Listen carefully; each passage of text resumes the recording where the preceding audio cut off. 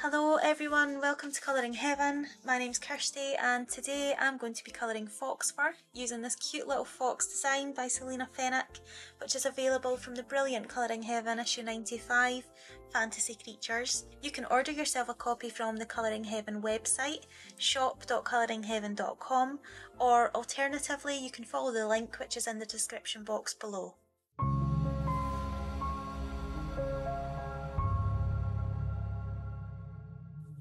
Now the first thing that I did when I decided I was going to colour this little fox today was have a look for a reference photo that I could use. So we're going to be using quite a creative um, approach to colouring our little illustration but I did want to make sure that I had a, something that I could reference to make sure that my values and colours were right. I really want to use traditional fox colours. Um, I found this little guy here on unsplash.com, he's absolutely adorable. Um, I love how he's sitting in a very similar position to our little illustration.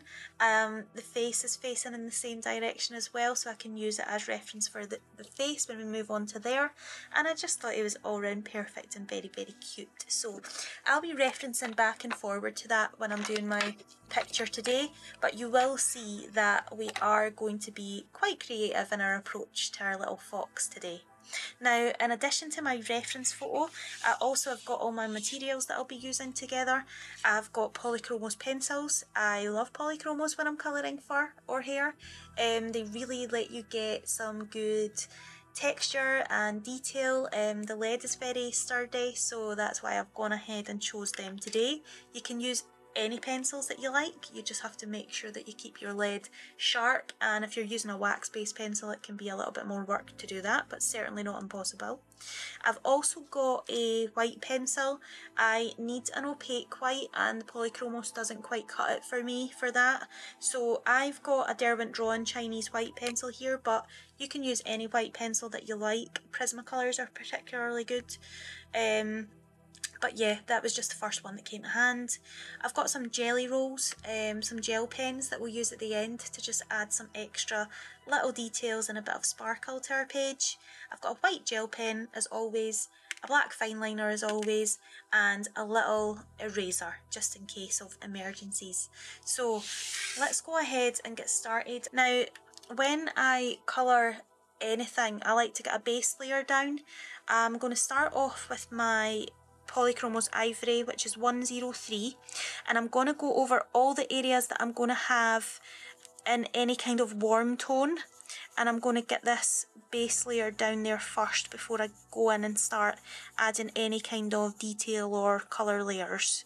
As you can see, our little fox actually has seven tails. The fox that was in our reference photo had the same colour on his tail as he had on his body, so he had kind of the red fur all the way up. I have decided that for our little fox today, we are going to have the white down the front of the fox, the mane, I think you maybe call it a mane on a fox as well, and we're going to follow that through into the tips of the tail as well. So I'm not putting ivory onto the tips. I'm only following the ivory up here to where Selina's put the break um, between the base of the tail and the end of the tail. And I'm going to go in and I'm going to use a very cool grey for any areas that we're going to use for our white fur. So I'm not doing anything very precise here. I'm following kind of the direction that I will want my hair to go, the strokes to go.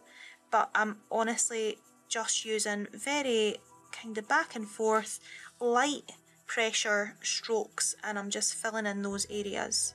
Now this is a really particularly good way of adding in just a base layer really to your colour. I find that if you add a little layer down first, any layers that you then put on top are going to adhere much better.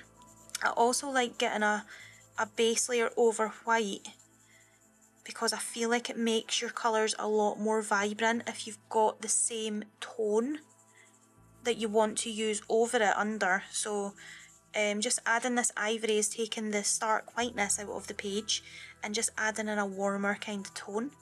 So I'm going to have some red for here. Now I am going to leave the face to last and do that as kind of a separate little project. So I'm going to get the body to where it's kind of about 80 80 90% finished and then we're going to move on the face and we're going to just treat that as its own little thing altogether. Right, so I've got my ivory down all over the areas where I'm going to want to have the red fur. I'm now going in with my warm grey 2, which is 9201 and I'm very, very lightly going over the areas that I want to have white. Now this may seem a bit crazy because we've got white paper and we want white fur and why on earth are we putting grey down? But white is never actually white. White is all always picking up the colours around it. It's always reflecting the sky the trees whatever it's next to so when we actually finish our page you will notice that through putting a lot of detail in and putting some nice base tones down, this lovely grey, the warm grey, I've chosen the warm grey because it's a red fox and obviously there's quite a lot of warmth in the fur. So I've chosen a warm grey but you can also use cool grey as a base for white, you can use blue as a base for white, you can use yellows. Um, just have a look at the actual image that you're referencing, get the lightest tone that you can and apply it over the whole area. But you will see when we finish, this is a very worthwhile step, particularly when you're trying to portray, portray white. So I'm getting to the last couple here. And again, I'm following roughly the direction that I will want my um, first strokes to go. Um, so I'm just changing slightly when I get to each tail, but they are all pointing in the same direction rather than using circular motions, I'm using very light, gentle back and forth motions, but we're adding such a soft, light layer anyway, you don't really have to worry or be super precise at this moment in time. Now, when I'm getting to the join here between the what Selina's kind of distinguished as the the end part, she's added this um, kind of barrier between. I'm actually just overlapping slightly with some of the ivory um, because in nature obviously some of that hair is going to mix in with each other and I'm going to take this all over my little mane here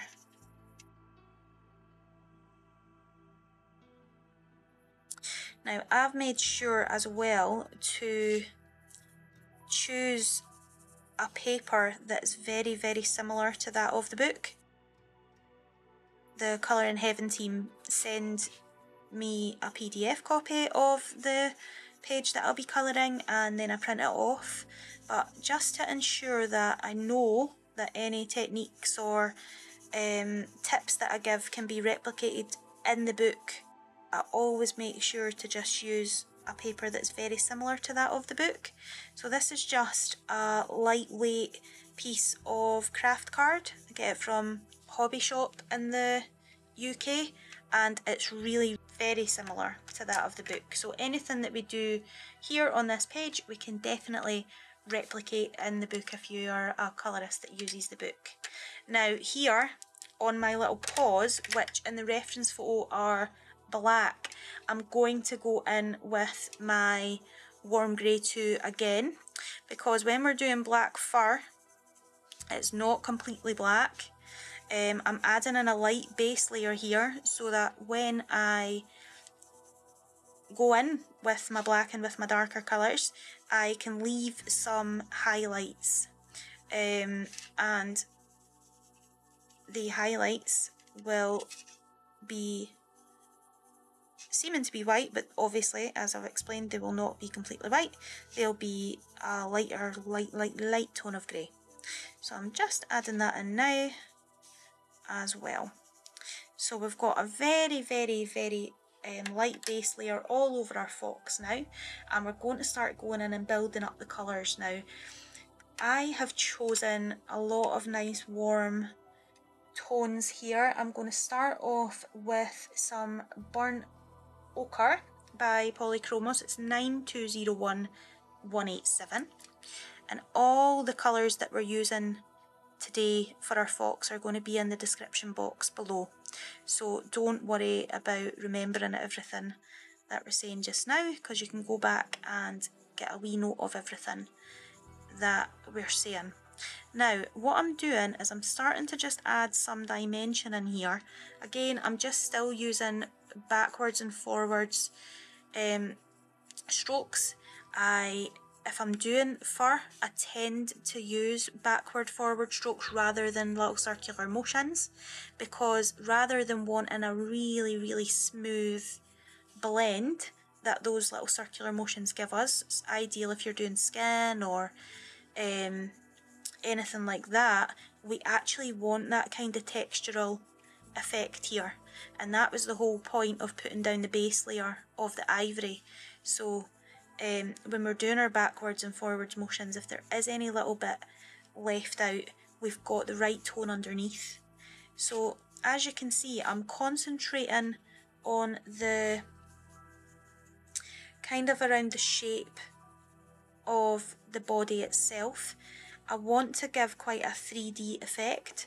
So I know that the majority of the light is going to be hitting the part that's closest to us. So because it's sitting with its kind of little what would you call it its back its bum out towards us this area here on its body is going to be the bit that's closest to the light. So it will be the bit that's picking up the most light. So I'm just starting to build up my colours um, around the areas that would be mostly in shadow but we are going to build this up and this is really just getting down the the main basis of the shape and then we'll go in and we'll build up. Now when I get to the little black lines I just softly go over it a few times because covering those lines slightly with the actual colours that we're using is going to help us get a more realistic effect.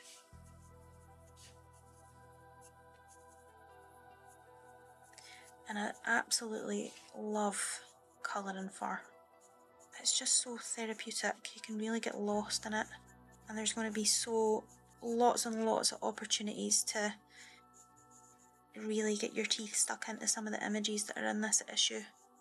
And really get super super creative with some of them as well which is just wonderful. Okay so the brown oak, the burnt ochre rather I'm going to follow round and I'm going to do the same thing on my tails. So I'm going round the outer edges mainly first. Following the direction you'll see I was using this direction when I'm doing the body. I'm now following this direction for this tail.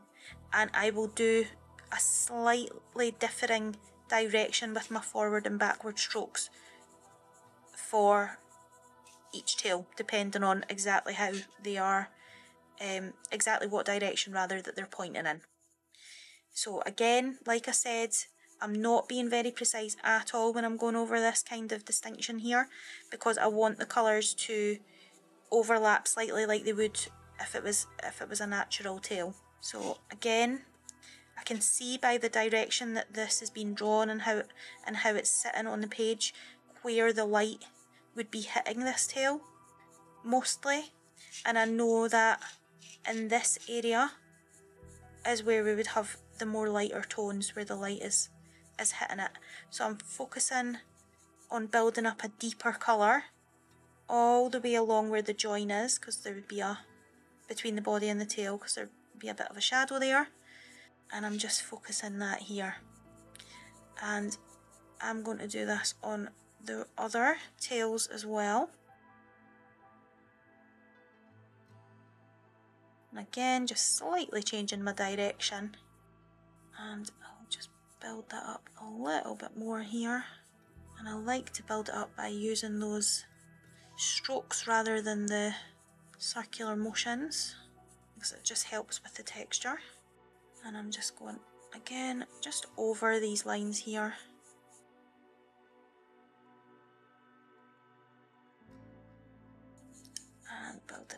even deeper there where the two tails are overlapping.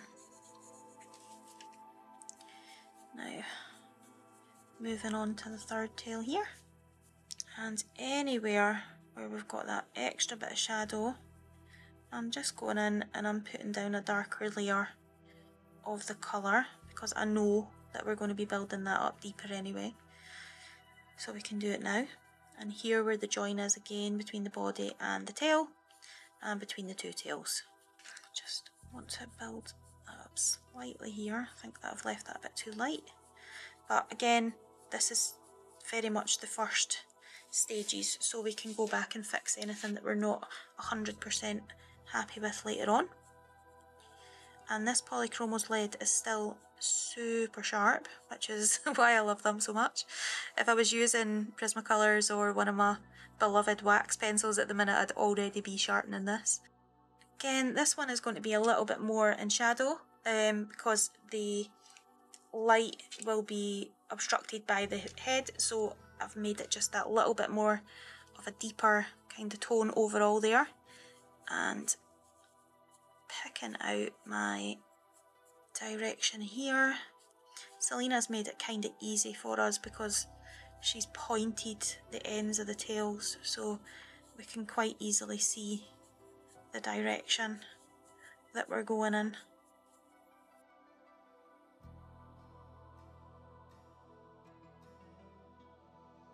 And just moving on to the last tail.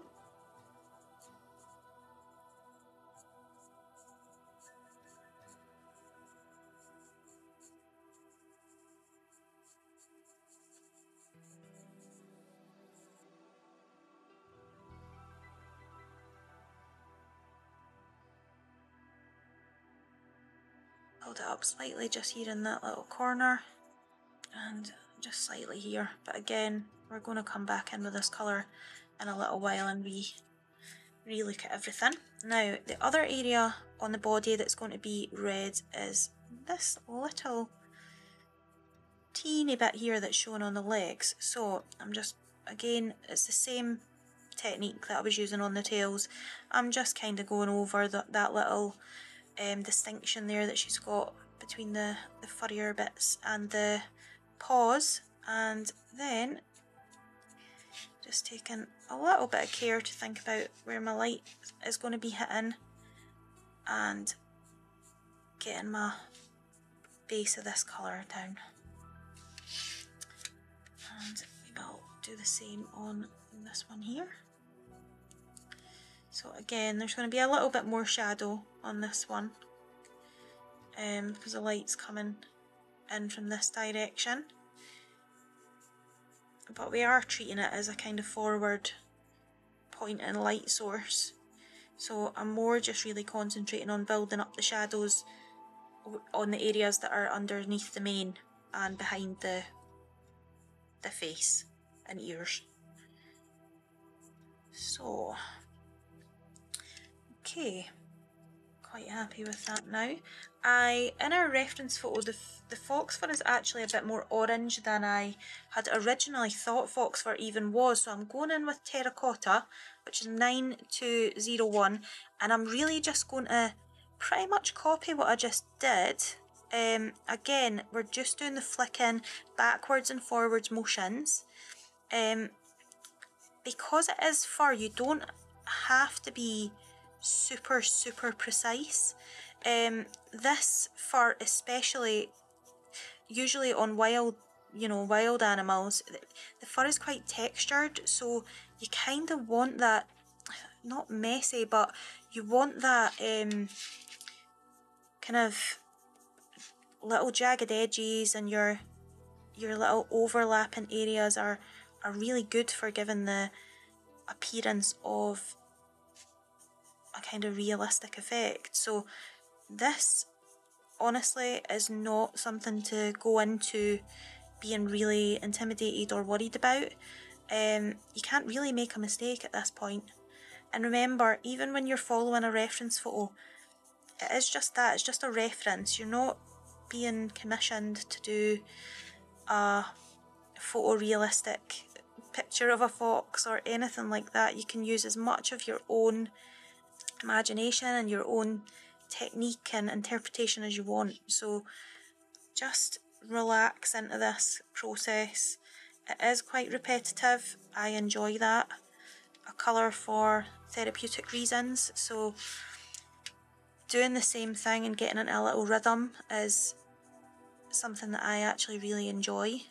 I also do enjoy producing something that looks quite realistic and I like using images like this that are more cartoonish and um, giving a realistic look to them. Um, I don't know if anyone has seen my eye tutorial that I did on the Jasmine Becket Griffith Wingling, um, but I kind of did the same thing there, took a cartoon-ish image and tried to give it a more realistic effect, so that's what I love to do.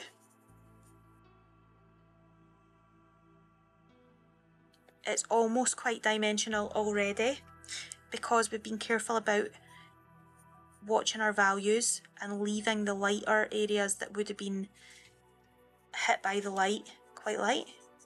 So you can already see where we're going with it. And it's just a case of building it up in layers really. So that's why I really like to put down my um, base layers first and get my base tones in. So when we use the ivory and the and the warm grey, um, that's why I like to get those tones in. Because now I don't have lots of white that I need to to fill in that's quite jarring to the eye. It's all quite cohesive already. I'm going to actually go in now with some um, burnt sienna, which is 9201283, and I'm going to go around. I'm concentrating on anywhere that we've got these joins that would be in shadow. So you'll see me going round, you can see me as I do it.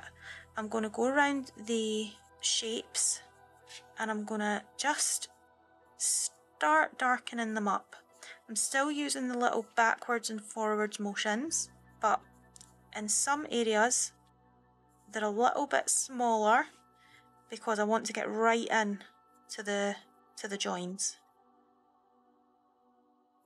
I also want to go over the lines, the black lines, to start going over those um, and bring them down to the tone that we're using. So I'm going to just put a couple of these darker, just a couple of flicks going up into the area where we're going to transition to our white fur. But yeah, I'm mainly concentrating on anywhere that two areas join and that would be in shadow. So well, down at the bottom, and you will see it starting to become quite 3D and quite dimensional.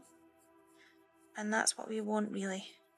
A little tip as well, because it is obviously a fantasy creature and it's a fantasy book. When you choose a reference photo, if you get a reference photo of a fox, just say, but you want to do a pink fox, just make sure that you choose the values of your colours correctly. So make sure that you have a value that's light enough, one that's dark enough, and one that's in the middle, just like we've kind of done with our oranges here. Um, and you can change your reference photo to black and white, and it'll allow you to just see where you're putting in your darks and lights, and if you've got the values right. And if you have your values right, you can use any colour under the sun and it will still look correct to look at. So if you've got your darks dark enough and your lights light enough to the human eye, it'll still look right. So that's a little trick that I sometimes use if I want to use a non um, traditional colour for even for I use it quite a lot if I'm doing hair so if I want to do maybe purple hair or green hair. Um, I use that trick quite a lot. I just change my reference photo to black and white and I use it more for the tonal value rather than for the actual colours themselves. and once you get used to doing it, it's really, really easy. And it just means that you can have a real creative um, approach to any any picture that you're doing. So you can see I've gone in just on the body here and I've added a little darker bit here, just another little distinction. Um, and we'll go in and we'll add a bit more detail to that later. Um, and I'm still going round just adding in here anywhere that would be more in shadow, just adding this more kind of darker, more ready tone.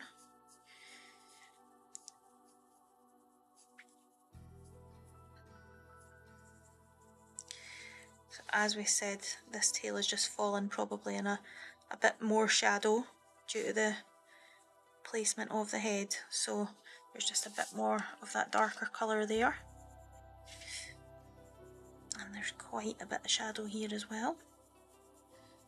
So I'm just filling that in back and forward.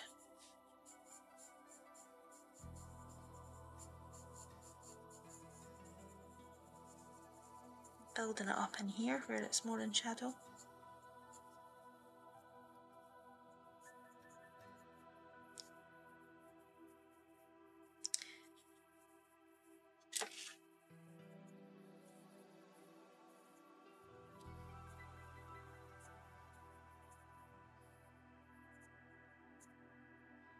just slightly going over those lines again.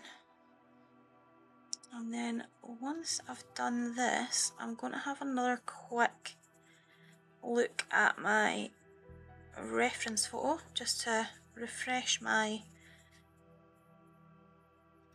memory.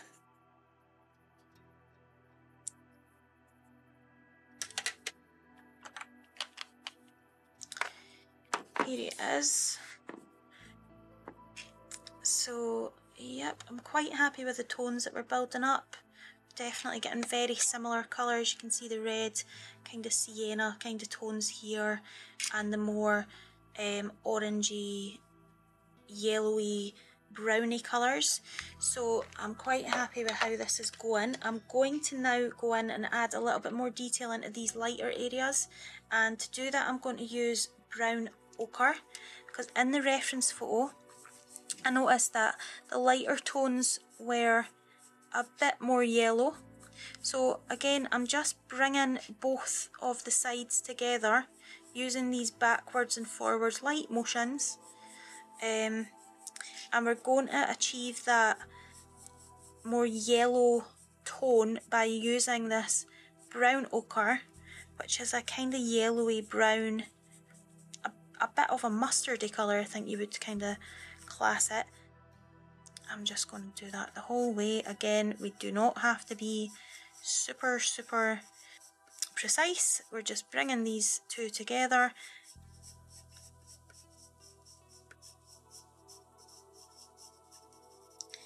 And then you start to see that the work that you're putting in is paying off. Now, once I've added this in, I'm actually going to go in and I'm going to work on my paws. The reason being I like to do all the finishing touches on my pages near the end. Um, I find it much easier to get the values right when I've got most of the colour down on the page. Um, and I find the tweaking part easier to do at the end. I really um, I can't go area by area and finish one area at a time. I try, but I just can't do it. So I'm going to leave the tail and the red part of the body um, kind of where it is just now and then we'll go in at the end with our very dark colours and we'll we'll tweak everything and our lighter colours and we'll tweak everything up at the end. Um, I'm going to go in to my paws with the warm grey, which is 9201273 and it's warm grey 4. And I'm going to add in the majority of the shape and the dimension that I want in with this colour, which is our mid-tone. So I'm going round just like I did on the on the tails and on the body. I'm going round the lines, the outer kind of perimeters of the shapes and I'm putting in lots of that mid-tone. I'm leaving the areas that I think would be catching the light blank at the moment, just with that warm grey that we put in earlier. And I'm just building this colour up.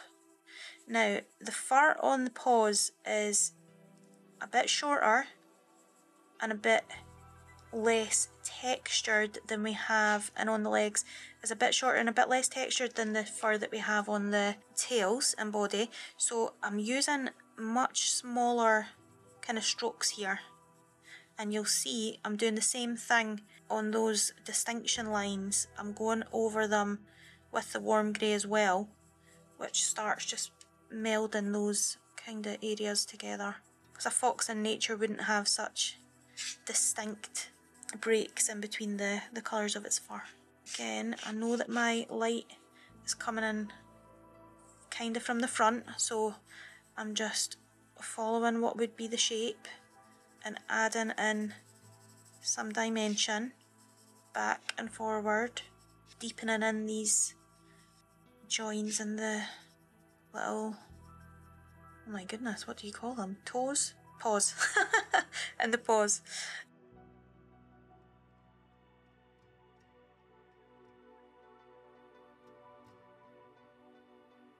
And I'm just adding in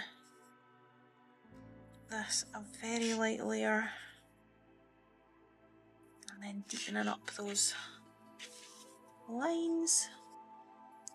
Same here. Now again, this paw is behind this one, so it's going to be much more in shadow. So you can go in and be quite liberal with the darker tones here. Really think it would only be catching a little bit of light here so I'm going to leave that a little bit lighter. Everywhere else is just getting a, a layer of the mid-tone and again this one as well. I might catch a little bit of light here on this um, part of the paw and that's it. So once we've done that we're going to go in with some dark sepia which is 9201175. This is a neutral grey brown tone. Whenever, even if I'm colouring anything that's black, I never go in just with black. I always build it up in layers. It just gives it a much more um, realistic and textural effect. So I can see here this fur would be laying on the paw and there would be a really deep shadow here. So I am going in tiny little circular motions here because I want this to be very, very dark. Oh, I forgot this paw here. It's fine, we'll go back in and do that. Deepening up these. Now I'm doing this, the, the fox in our reference photo was sitting in the snow. So I didn't see all of its paws. So I'm doing this really from imagination. But if you just follow the basics of anatomy and just think about where's the light going to be hitting it, where's it in the most shadow and apply your darker and your lighter colours based on that, you'll do a great job.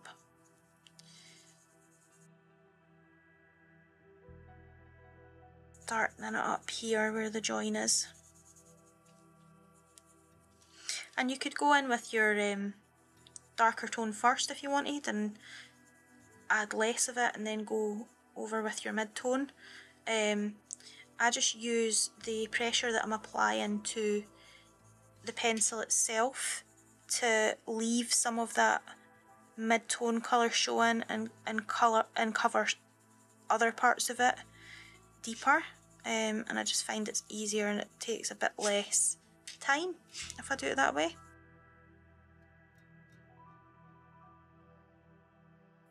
Light at all. So I've put the mid-tone all over the whole lot. So the mid-tone was a warm grey 4.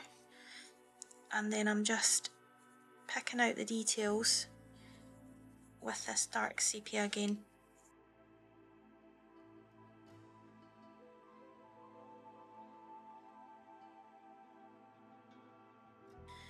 And just going over everything that is left white here with the grey.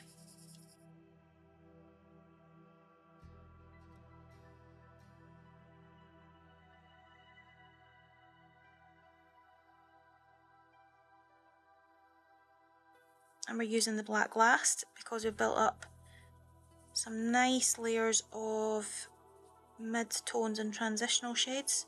So when we go in the black with the black, rather than looking flat, it's going to add texture.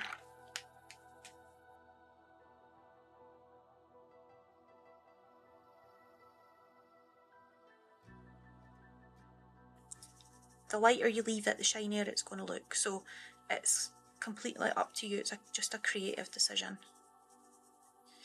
So I'm just adding a bit more definition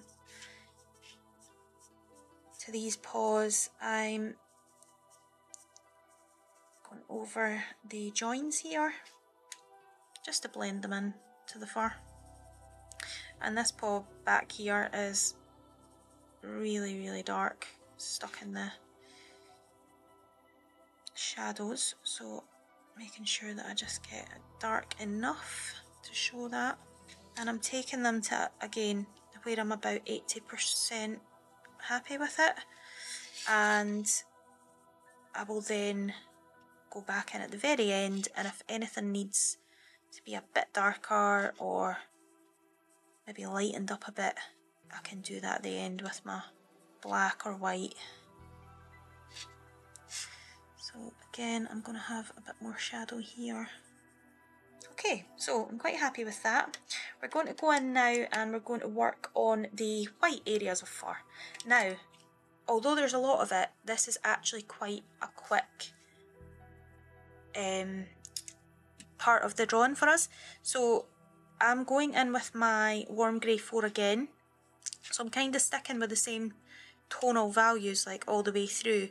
And what I'm actually doing is I, I do want to leave the majority of the white fur with that very, very light grey that we put in earlier. But it is quite long fur, so you are going to have little areas of the fur that overlap and there is still going to be shadows in there. So I'm literally just following round and I am adding in some little shadow areas, maybe some little flicks of darker um, pieces of fur that might be in there as well. And I'm just giving it more of a dimensional effect. So I'm going to go around the whole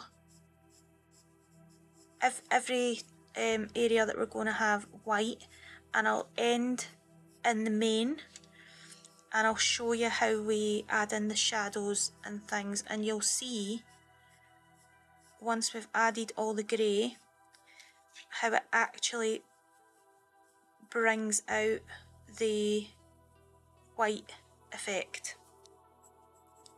And I am pressing really really lightly. Don't need a lot of pressure. Um, that's another reason that I like to use a base layer when I'm using polychromos because they are oil based the first couple of layers do go down quite translucent but the more pencil you have on the page the more vibrant they are. So because I've already got that grey tone down here, um, I can be quite gentle with the layers on top and they will build up really, really nicely. So I'm just going to go round and I'm going to use my grey that I'm using just to literally tie these edges in a little bit.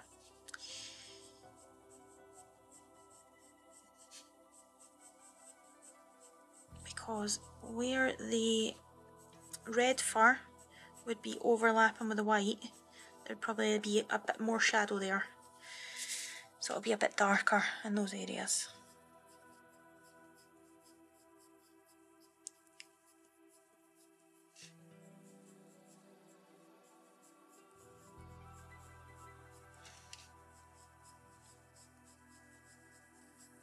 and you can do as much blending of these areas as you want. You might actually want a really distinct um,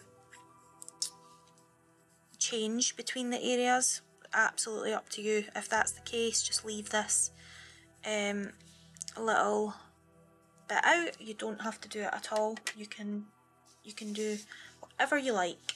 So this is where we are now. I'm going to don't know why I put that down because I'm going to use it now just to add in more detail into the mane. So again, it's directly on the front. Selina's added in a lot of lines here showing kind of where and how the, the fur is lying on the body. So I'm going to use them as my um, template and I'm going to take the cues from them. So here where this line is, I'm just going to kind of bring it up a bit further and just add that in. This bit seems to be lying behind this bit, so I'm going to darken that shadow, that area up there just to show the shadow. And here, where the face is lying, this bit's going to be in shadow that's cast by the face. So, I'm just, I can take a very, very light layer of this slightly darker grey and I can go all the way along. Now I'm just dragging it down slightly because I want to bring out the shape in some of these pieces of fur and that's what's going to give it a dimensional effect.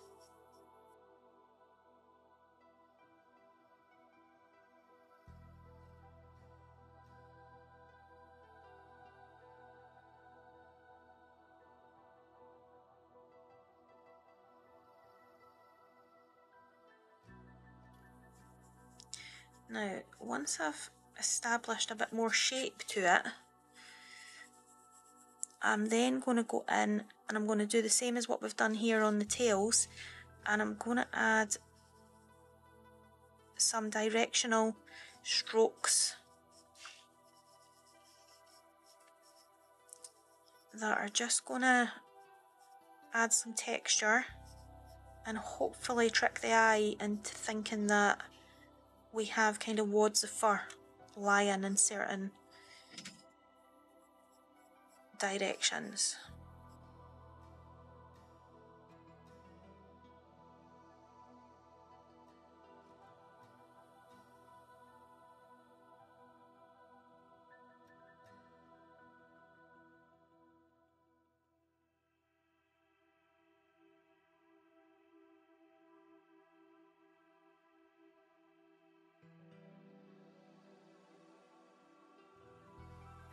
And what you can do at this point once you're a wee bit more confident of how you have it laying you can pull the top and the bottom together.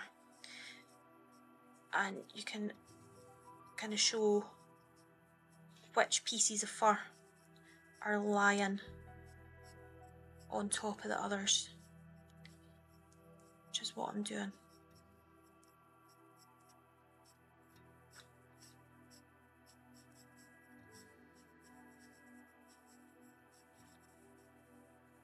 So as you can see, I'm just starting to establish a bit more structure into the mane here. That's giving it a bit more of a realistic look.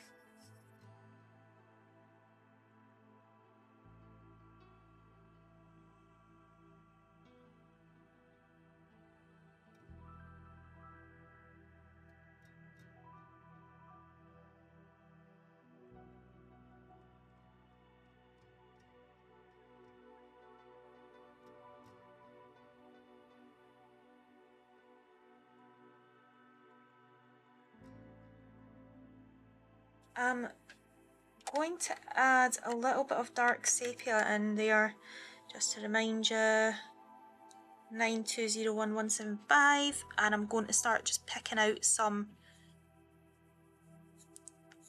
just very fine little lines. I'm going to deepen up these lines that I've added in here that are following on from the darker ones that Selina's added. And I'm going to add in a few little darker bits just to show where I feel the, the fur would really be um, kind of folding up against itself and creating shadow, um, deepening up the shadow underneath the chin as well. This is where going in with lighter shades and your mid-tones um, really help, particularly if you're like me and you're quite a nervous colourist. I'm always worried about putting colour on the paper in case I make a mistake or mess up or whatever and doing it gradually and incrementally just it makes me feel a lot better so I already know that I'm happy with the shapes with where I've got the um, shadows and things and I know that if I go in and darken up certain areas I'm not going to ruin it because I've already established my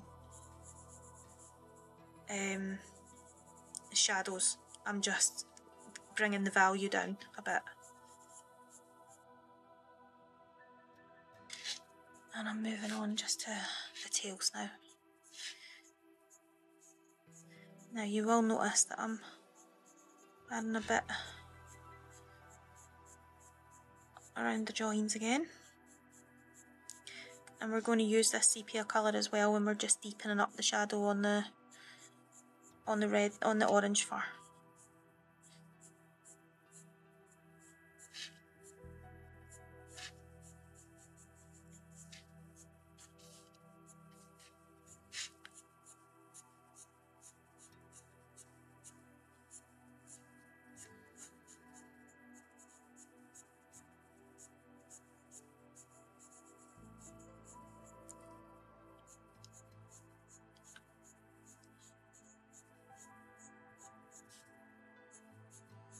Okay, so now I've got the actual body of the fox quite close to where I am happy with it. I think all we really need to do to the fox's body now is a little bit of blending, maybe some burnishing and adding in some really stark highlights and darks in at the end.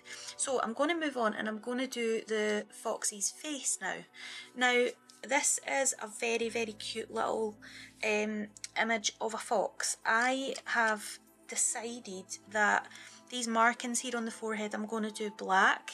Um, there is no real special technique I'm using here. I'm just filling them in with a matte black and I'm going to go in at the end with a gel pen and add a really stark highlight so that they look as if they are a little bit shiny. Um, so I'm going to go in and I'm going to do that. The other thing that I'm going to do is I'm going to add a little bit of detail into the fox's face. Not lots, but just a little bit to give it a bit more of a realistic look because we've spent all that time on the body and making sure that we've got our colours and things right. So I'm going to get all the areas kind of mapped in and then we'll just get to it. I'll be using the same techniques that I used on the body and the paws so yeah you'll just be able to kind of watch or colour along and we're just going to do exactly the same.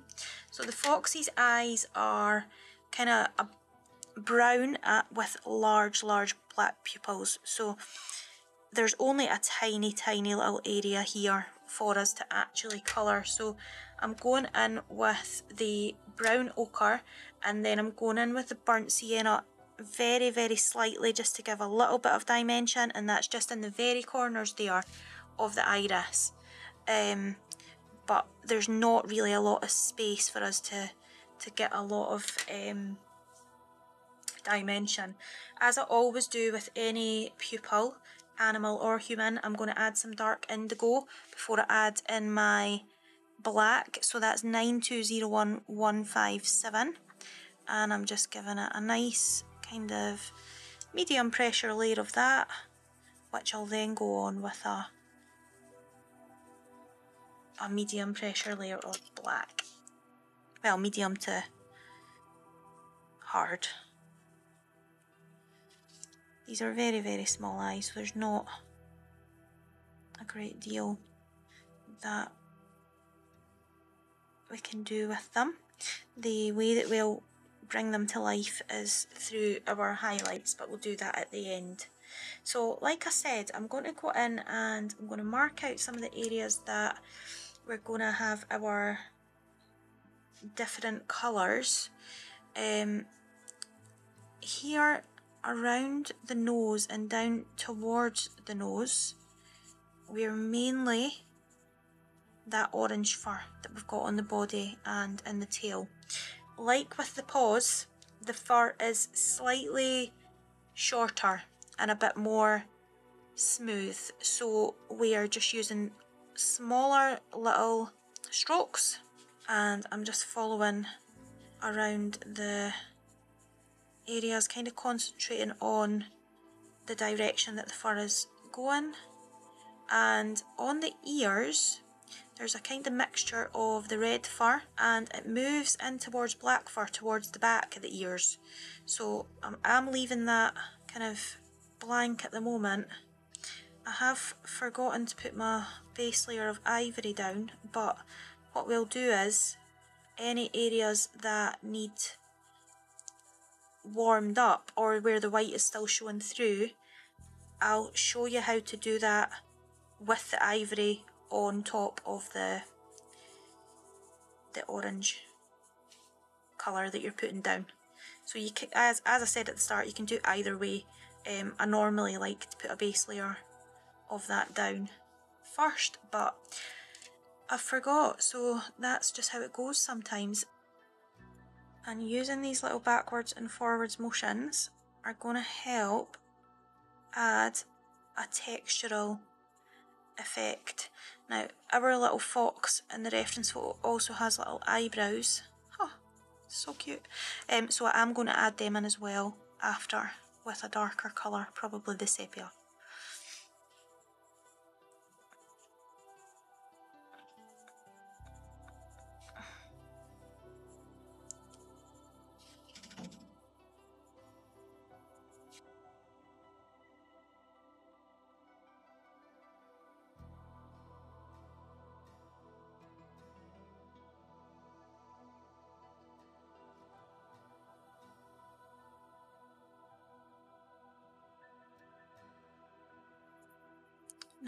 Once I start getting to the nose,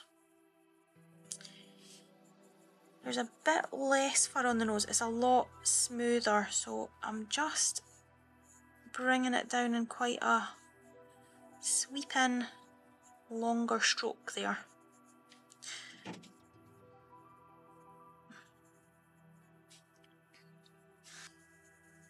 And adding in the different lengths of strokes and the different um, directions is going to add a lot of dimension into your fox's face. So, I've left a little area of the fox's eyes um, quite light because in my reference photo there's a little bit of extra detail that I want to add in. So around the fox's eyes, they're kind of outlined in a dark, dark grey, almost black, which then comes down into the sides of the nose. So I'm adding that in, and because it's so dark, I'm using tiny little circular motions, but your backwards and forwards motions will work just as well. I'm going to take this um, warm grey 4 again and I'm going to go all the way over these areas that I've left blank up here on the top of the ears. Just back and forward motions. I'm not being precise at all because these are very, very dark in the reference photo. So I I'm going to add quite a lot of black over. So this is really just a mid-tone. And there's a little bit of black fur showing just on the top of the head. Inside of the ears are black as well. So I'm just going to add in here and I'm going to leave a little tiny little area there where they are catching the light along the smooth black skin and again just on the outside of this one here. Okay, perfect. So I'm happy with how this is kind of looking and taking shape now. I'm going to go in with my terracotta just to add in a bit more of the vibrant orange tones to the um, fur. Again, I'm just being really conscious on the direction that I'm going and the length of the strokes that I'm using um, to add in this brighter colour. We'll get a bit more of this orange in the middle and we'll work out towards that um, brown ochre colour along the sides of the nose. And because I've already got the black in, I don't have to be too worried about going over there.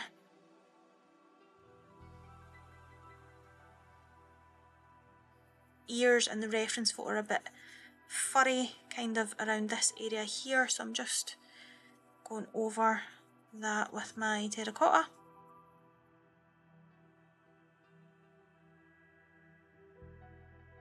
Anywhere that I think the hair will be longer I can put in the slightly longer strokes.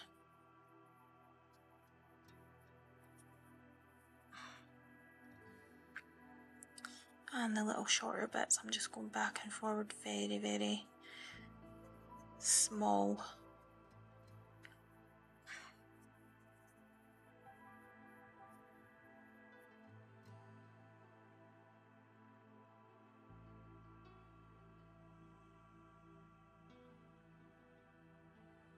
A bit more here just along where I'm going to put the eyebrows and then we're going to go in with our brown ochre all the way down the side of the nose. And the hairs kind of go in towards the centre of the face so I'm just moving in that direction. And that continues up around the eye.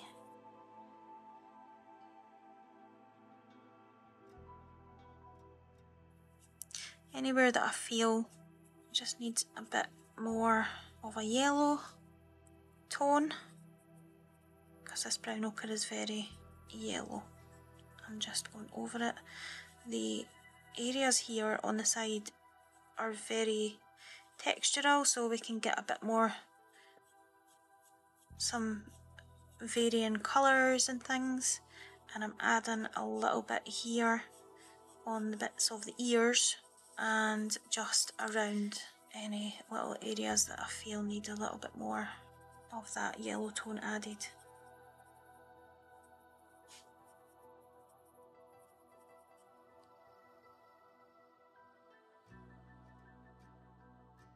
So now I'm going to go in and I'm going to add in the detail on the black fur on the top of the head and around the ears. I'm using the black and I'm adding some very tiny, tiny little strokes here and some very, very dark, some quite heavy pressure here just around the ear itself because inside those ears were very dark. I'm going to do the same on this side.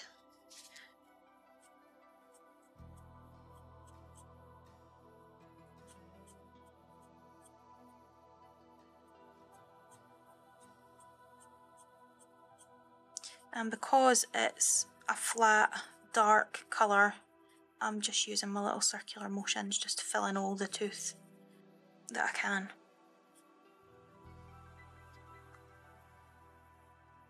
Right, and then we're just adding in some black fur, just following the same pattern that we were doing before, where it's longer here. Selina's kind of giving the impression that it's a bit longer there so the strokes are a bit longer and then as we're moving down towards the head it's going to be very very um, tiny little strokes. I'm leaving some space in between the strokes and that's just so that you can see some texture in the fur.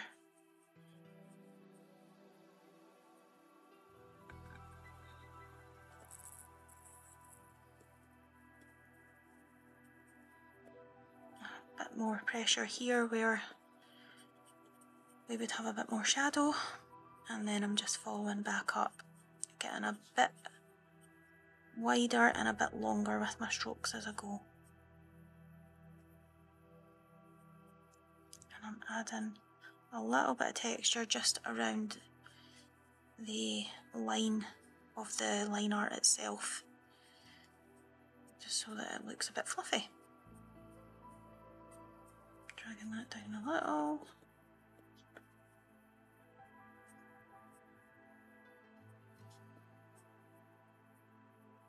Great, so I said that I was going to add little eyebrows to the fox um, and I'm going to do that here with black um, just to match the reference photo. So I'm putting a tiny little dot and I'm pulling out just as I would with maybe an eyelash if you were doing a, a portrait um, because in the reference photo the eyebrows are quite sparse but they're quite long so um, just going around and adding those in. I'm going to also darken up these areas here. They are very, very dark. My reference photo. And the nose is almost completely black, as is the kind of bottom lip. So we'll do that just now as well.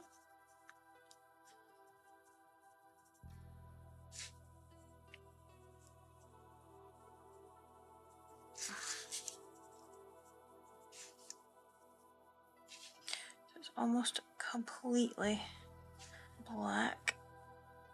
Now, our little fox actually has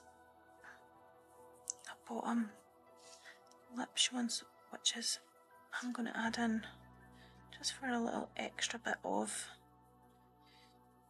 detail. You don't have to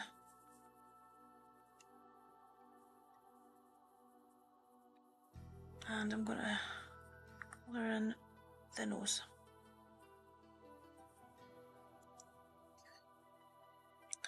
It's looking so Now we're almost at finishing touches. I'm going to just add in some warm grey 2 to this area here. And the fur is very very dense and very very smooth here. So I'm actually going to add pretty much a just a full layer of this colour and then what we'll do is we'll add a couple of little um, textural elements on top. I'm going back and forward but I'm keeping everything very very densely packed together. I'm not, oh, excuse me, I'm not leaving a lot of space between. There's not really any white of the paper being left. I'm just blending it in with the sides here slightly and I'm going to take that up around the eyes as well because we do have some of that light white fur around the eyes in the reference photo and then I said I was going to go over the lighter areas with ivory and that's exactly what I'm going to do. So I'm adding in some ivory. I'm going to actually put some here just in the centre of the ears um, and I'm adding a decent amount of pressure just now. I'm quite happy with my little fox just now. So if you choose not to put your base tone down and you're just feeling like you need to blend it in a bit more, you can do it at the end. Just give it a nice medium pressure layer so there is still some tooth left in the paper a nice medium pressure and you're just going really over the whole thing. You don't have to be super precise because you're going to still follow the direction of the fur. And I'm actually going to do the same on my tail and body and I'm going to use the ivory for the burnishing. So I'm going to move on to that now and you'll see I'm just follow, following the direction of the fur generally and I'm going over all the areas that are lighter that I want to be light that we've left as our highlights. And again, if you want super, super bright white highlights to mimic very shiny fur, um, you can add in some white gel pen or um, some metallic gel pen at this point and that will give the impression of a super, super shiny fur. I don't like doing that when I'm doing a wild animal. So just move around just a tiny bit on this because we're not really catching too much light there.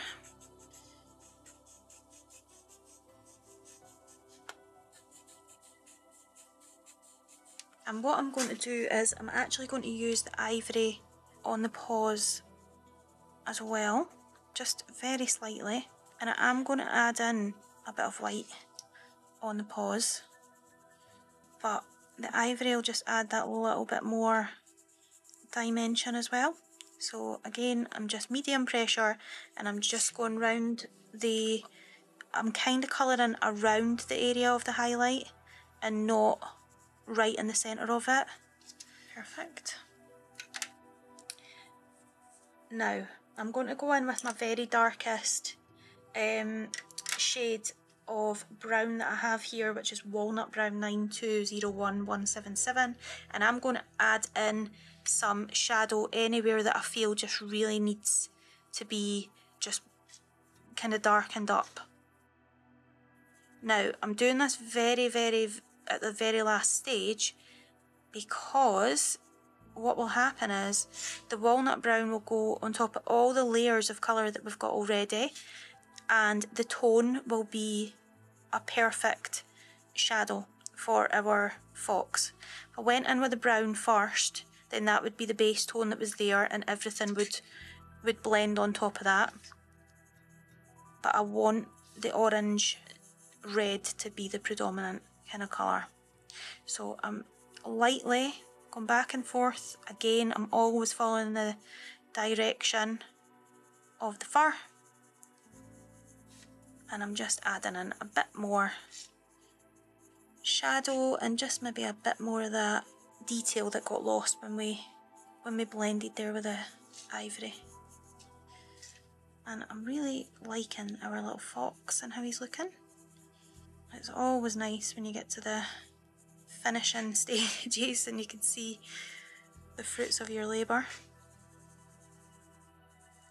So it's really probably quite obvious what I'm doing but I'm really just going round anywhere that any areas that are underneath other bits of fur or anything that I just feel you maybe want a little bit more textural and I'm just adding some of this walnut brown in.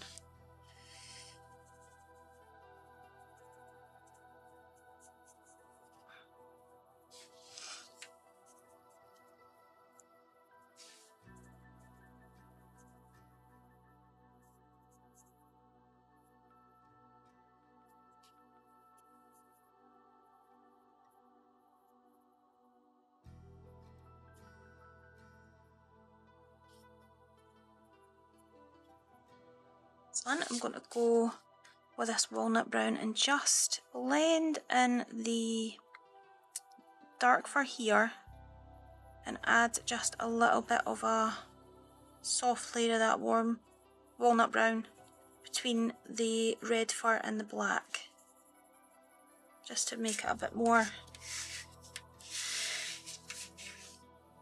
cohesive. I'm going over some of the bits that are a bit lighter than I wanted them to be as well. and I quite like using a brown or like I said a blue over a black or under a black because it just adds a little bit more dimension. I'm using it here just to pick up some of the detail that's in those longer pieces of fur here around the ears and the same principle here on the fur at the side which is a bit longer.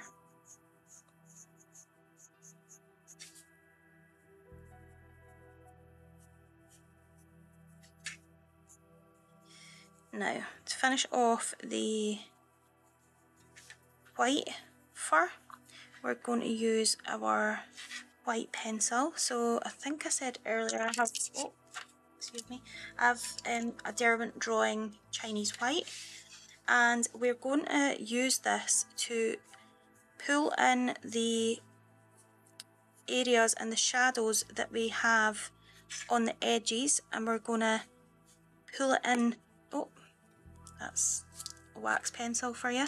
Um, we're going to pull them in to the middle. So if you can see what I'm doing here, I'm kind of pulling in from here and in from there. And that is how we are going to bring them in and keep that directional effect in the fur.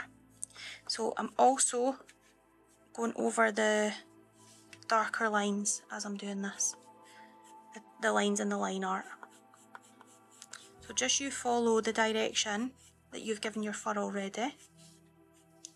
Now when I actually complete this image, this fox is actually, I think, a kitsune.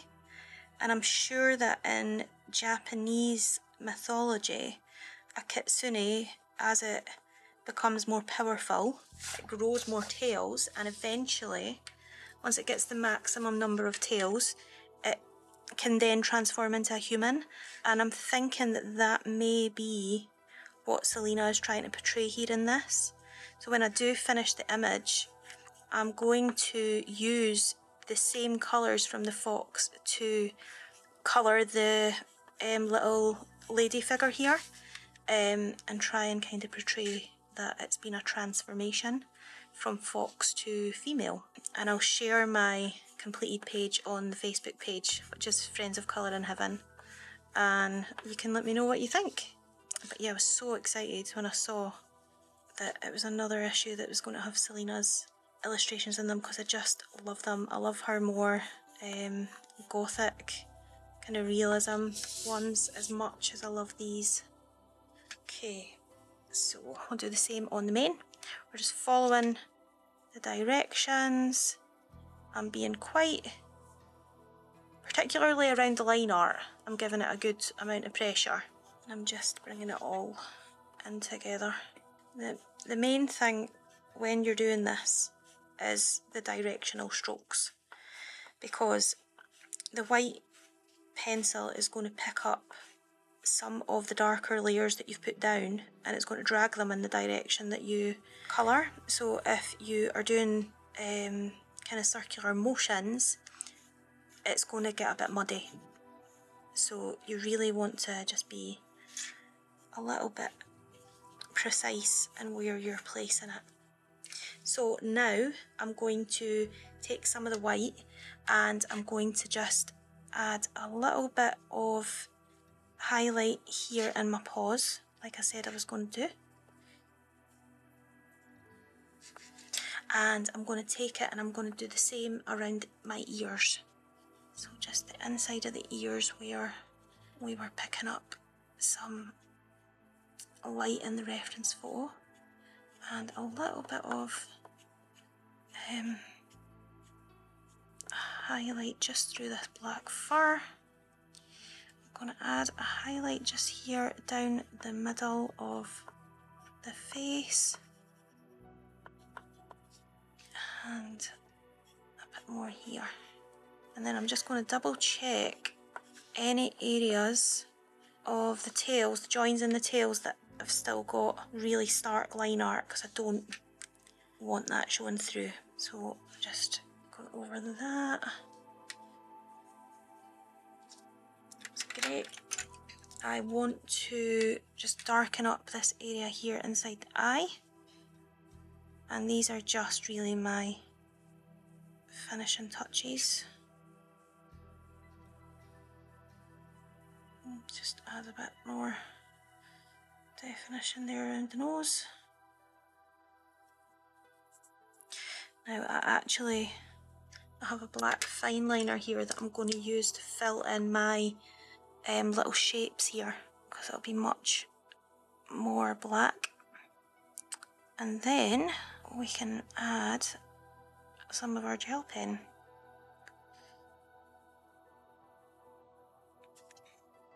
Oh, he's so cute. I love foxes. Now, if you want, you can use your fine liner to go over the very, very, very super, super dark areas. So, um, your pupils or the the inside of the ear just along the um, fold. But I'm not going to do that. I'm going to keep it nice and natural. But yeah, fine liners are great for doing these little intricate kind of bits.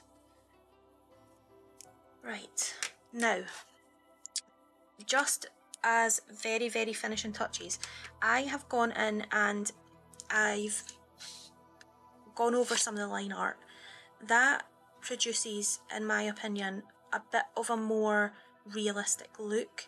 Um, I would like to do that along the rest now of the lines. Now, you can use a wax pencil that's in a similar shade. So if you've got other Derwent drawing pencils, you could definitely cover um, some of these black lines. What I love to do um, especially if I'm doing little fantasy creatures, is use gel pens, um, particularly metallic ones. They give such an amazing, beautiful effect, and I'm going to show you how I would do it. So I'm going to cover the black lines with this bronze Gelly Roll Sakura. It's a metallic one, and it's number 705. And what I'm going to do is I'm just simply going to go over the black lines anywhere that there is red fur I like to use a little circular motion when I'm using a gel pen. And then I'll let that sit for maybe 10 seconds. And then I take a cotton bud and I just buff it out and like drag it out a bit. And it just gives a gorgeous little shimmery glimmery effect to the lines. Um, this is 100% optional. And 100% extra, but we're going to do it. You can also bring a few little bits up and that'll put a tiny little glitter effect through your fur as well. It's so nice. It's nice to do.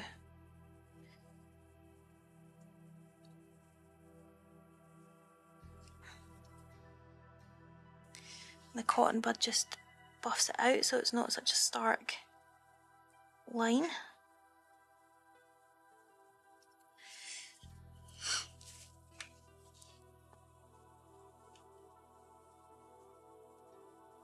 Now obviously if you're using more fantastical colours this would look amazing.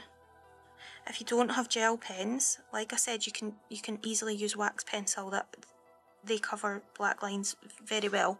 Just use something in a decent amount of pressure and in a similar colour to what you've used on the area that you want to cover the line art in.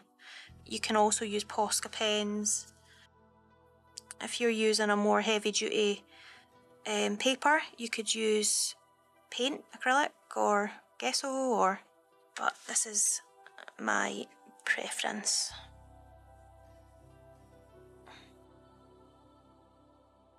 So I've chosen to go with bronze. I did have a gold there as well, but the gold that I've got is really very yellow, so perfect.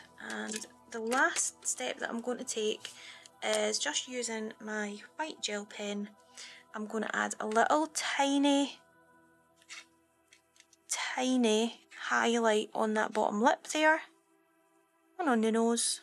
And if it's too bright, you can just touch your finger to it while it's still wet and it'll lift off and I'm going to add in some little highlights on the eye.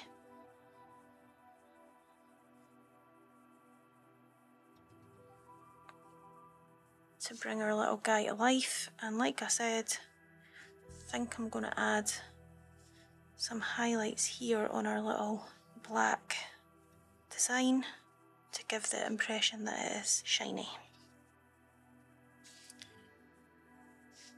Now I'm using a Gelly Roll white. All the gel pens that I've used today are Gelly Roll, but um, again you could do this with Posca, you could do this with acrylic.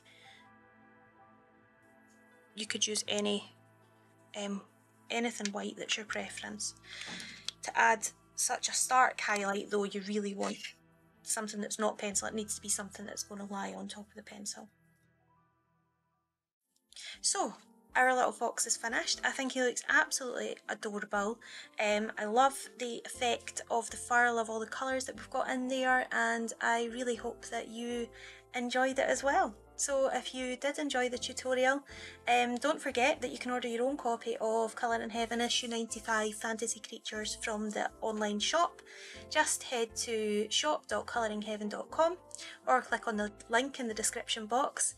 Um, Colouring Heaven always love to see your colourings so if you would like to upload your own fantasy creature just pop on over to the Facebook group Friends of Colouring Heaven and lastly please don't forget to like, subscribe and ring the bell so that you don't miss out on any great Colouring Heaven videos in the future. Thanks very much for joining me today. Bye!